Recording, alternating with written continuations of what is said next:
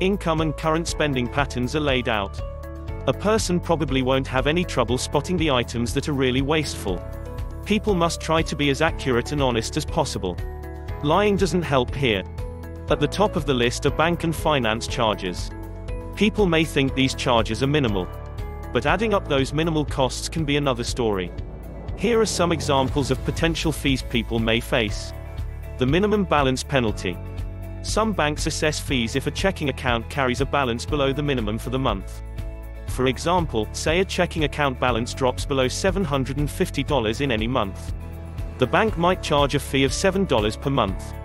The low funds penalty. All banks slap a fee of at least $20, if not more, on bounced checks.